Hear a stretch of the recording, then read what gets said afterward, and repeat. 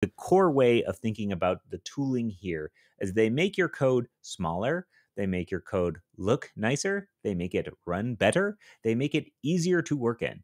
That's really what this tooling is doing for us. And, and those all sound like positives to me at the end of the day. And, and like you said, there might be some pain here and there getting this stuff up and running, but it, the pain is worth it if the end result is that your process is that much nicer.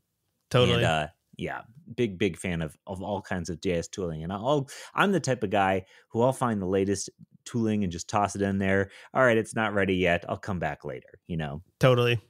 And we'll we'll let you know when they're when they're ready. Yeah, you could think of syntax as like the timer on your microwave. You're cooking a pizza and you're not ready yet. Well, we'll let you know. We'll say beep beep beep. All right, now it's time to figure out which uh which of these tools to use.